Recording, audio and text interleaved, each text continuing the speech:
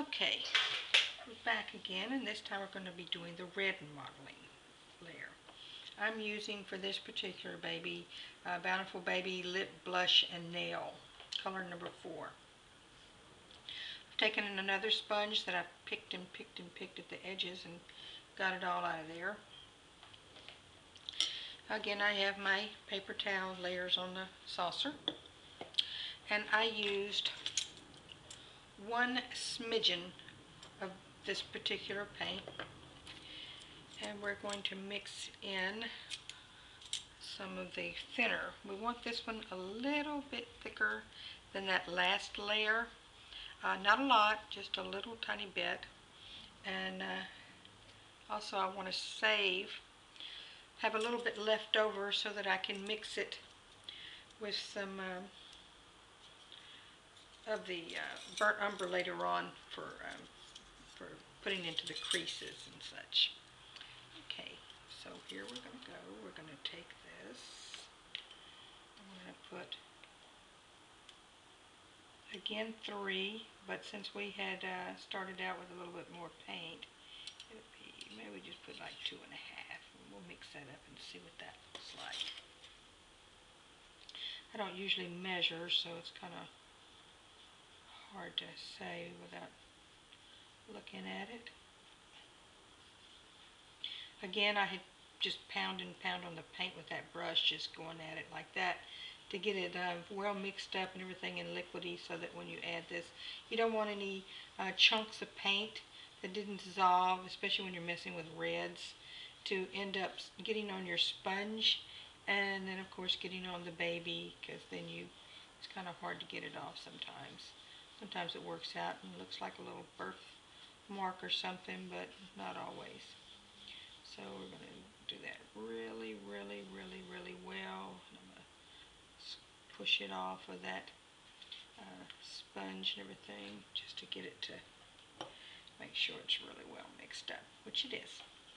Okay, so we're going to start with my other sponge that I had picked out. And we're going to wet this. You see how it, the red just really just soaks in instantly. So it's a lot stronger paint. So you have to be a little bit more careful.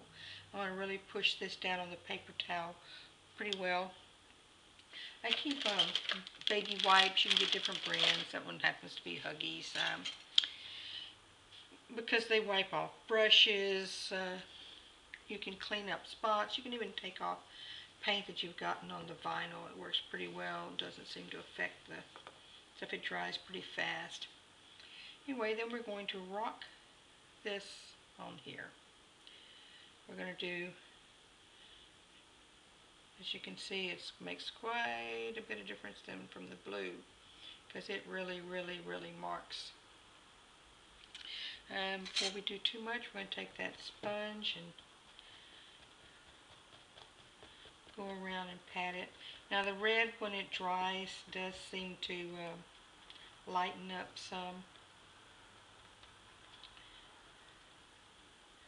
But a baby's skin is really uh,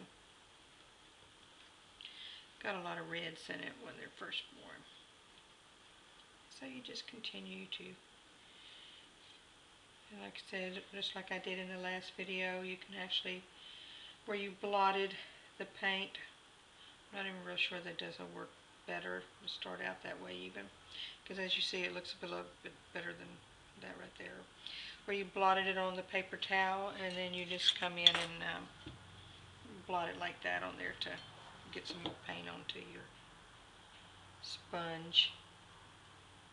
Now I use in between uh, when it's like this type of stuff rather than sticking it into the oven and having to wait eight minutes. I use the um, heat gun that Genesis makes. Works really well. You just have to move it very, very slowly across the um,